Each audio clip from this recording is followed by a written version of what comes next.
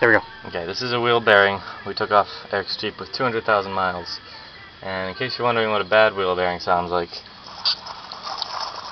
kind of sounds like marbles trapped in a can.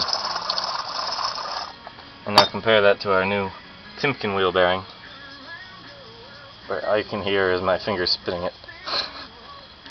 and here's the axle and crud. And notice the new Gabriel $16 shocks and $13 sway bar end links. Alright.